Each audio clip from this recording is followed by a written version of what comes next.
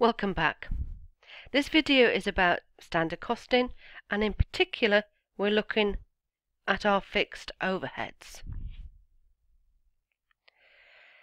We need to bear in mind that there's two ways of treating fixed overheads.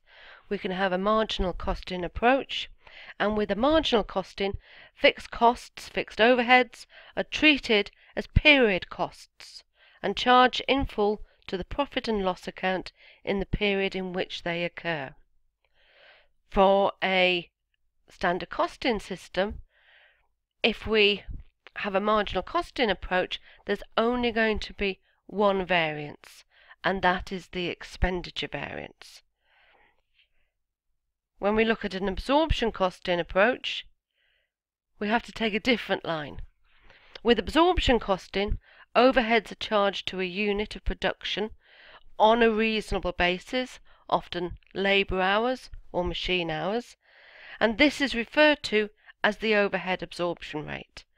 The overhead absorption rate is reproduced here, and given that there are various um, elements to the overhead absorption rate, we have expenditure, we've got the hours per unit, and we'll also have the units, we have more variances that we can calculate because there's more elements that can be different between what we expect to happen and what actually has has happened. First thing that we would do after we've worked out the overhead absorption rate is that we'd calculate the total fixed overhead variance and then we'd sub that subdivide that into an expenditure variance and a volume variance. The volume variance can be further subdivided into an efficiency and a capacity variance. If we look at this example here, we've deliberately um, broken down the tasks into a number of different elements. The first element focuses on the overhead absorption rate and then we move into the variances. And if you take a step-by-step -step approach to any question, start with the total variance, subdivide that into the expenditure and volume variance, and then if required, not every question will ask you to do this, but if required, you will then calculate the fixed overhead efficiency variance and the capacity variance. So if we start with the overhead absorption rate, the overhead absorption rate, we go back to the formula, budgeted. Fixed overhead. Expenditure. Divided by budgeted level of activity.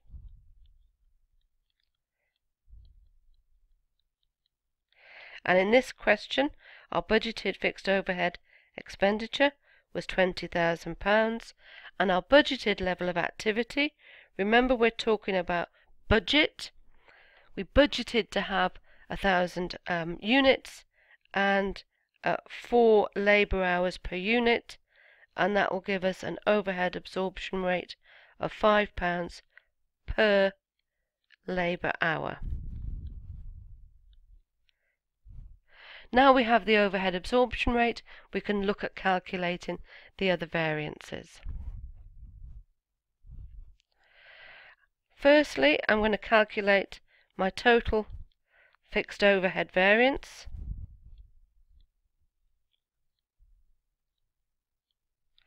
And I'm going to calculate that in a similar way than I have done in the past.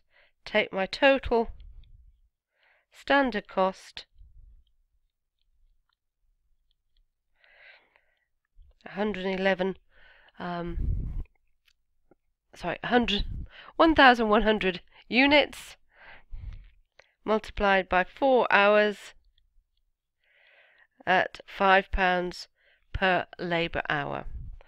And that gives me a total standard cost of 22,000 pounds.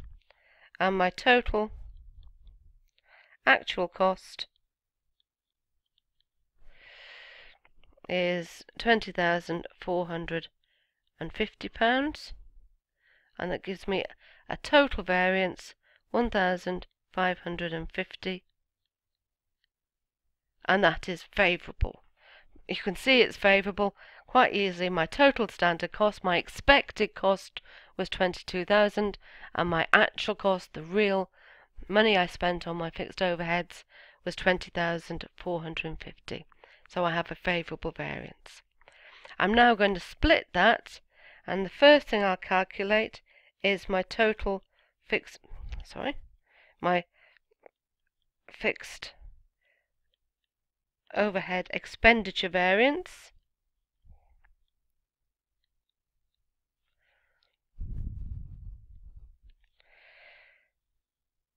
and my starting point is actually this point here. My overhead absorption rate is um, has all the elements that I'm going to be looking at with these um, variances. So I start with my budgeted fixed overhead expenditure.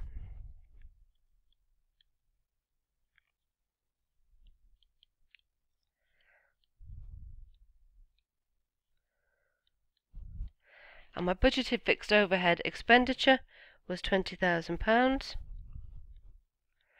and I compare that to my actual fixed overhead expenditure and my actual fixed overhead expenditure 20,450 and that gives me a adverse variance of 450 pounds.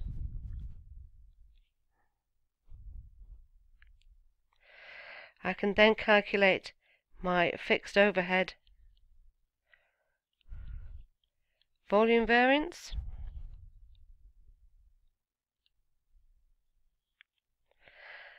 I'm going back to my overhead absorption rate and my starting point is going to be my budgeted level of activity.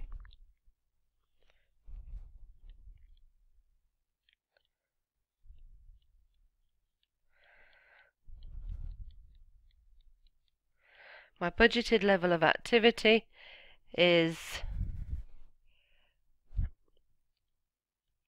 4,000 hours. And I'm going to compare that with my standard level of activity. And that is 1100 units at 4 hours per unit. And that gives me a variance of 400 hours. That's going to be favourable. And the reason that's favourable is that I've actually absorbed more hours than I expected to. We can multiply that by our overhead absorption rate of £5 per labour hour.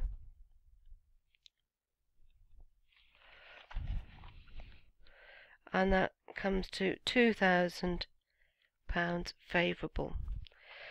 Hopefully you'll be able to see, using these figures, that £2,000 favourable plus 450 adverse comes back to my total fixed overhead variance of 1550 favourable. Now I can analyse in more detail my volume variance, that £2,000. I can look at the two elements that make up the volume variance, my level of activity and that is my hours per unit and the number of units. I start by looking at my fixed overhead efficiency variance.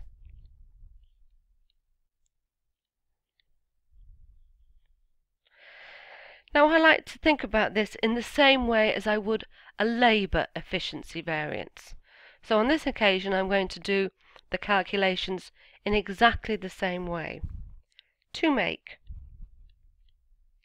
1100 units should take 4 hours.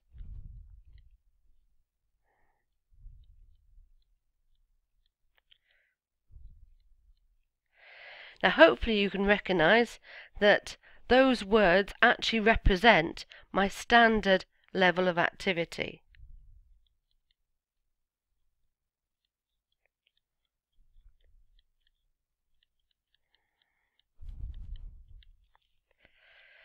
And I want to compare that just as I do with labour efficiency variance.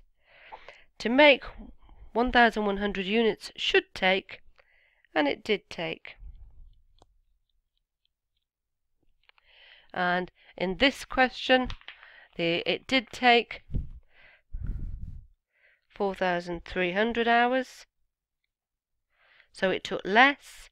So we have a favourable variance there because of our efficiency. We multiply that by the overhead absorption rate of £5,000 per labour hour and that will give us £500 favourable fixed overhead efficiency variance. My final variance is going to be the fixed overhead capacity variance.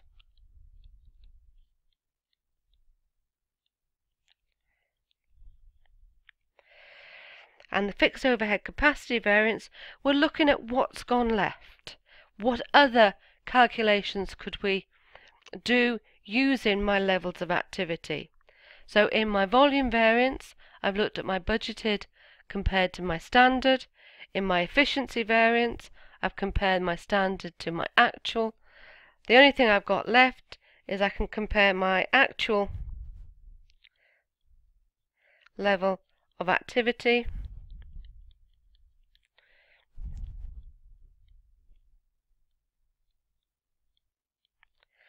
and compare that to my budgeted level of activity. And my budgeted level of activity was 4,000 hours.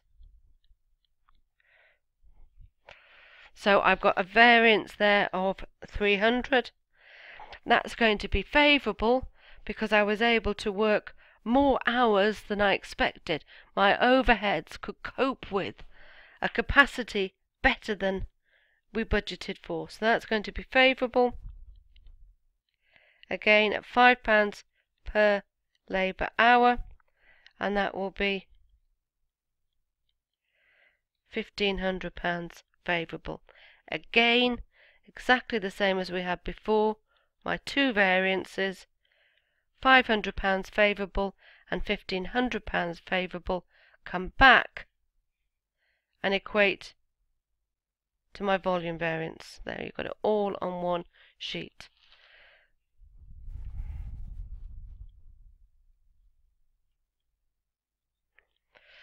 I know that my calculations are correct.